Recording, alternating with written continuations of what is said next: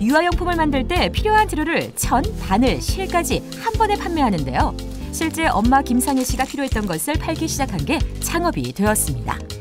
저도 이제 새아이의 엄마고 하다 보니까 조금 더 특별하고 아기한테 좀 귀한 선물을 해주고 싶은 마음이 생 어, 마음이 다른 엄마들도 같지 않을까 싶은 생각이 들어서요.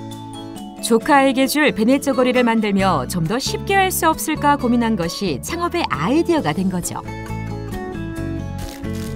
인기를 끌기 시작하면서 현재는 전국의 엄마들이 주문을 할 정도.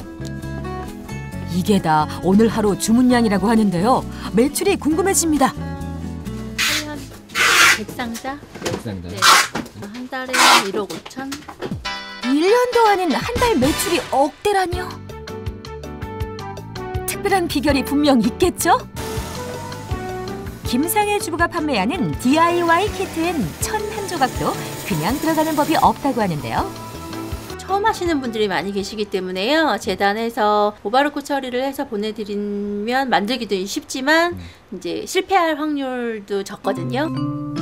원단의 올 풀림을 방지하기 위해 꼭 필요하면서도 어려운 작업은 먼저 끝낸 후 보내주니 엄마들이 좋아할 만하죠.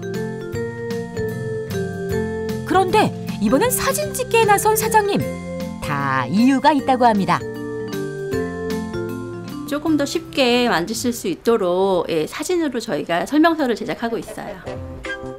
처음부터 완성까지 모든 과정을 사진으로 찍고 자르는 선에 바느질 위치까지 표시하는 이 섬세함.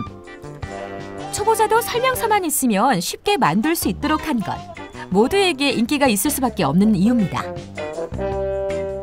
일러스트나 이제 그렇게 한 걸 저도 이제 봤는데 저도 잘 모르는 부분이 있거든요.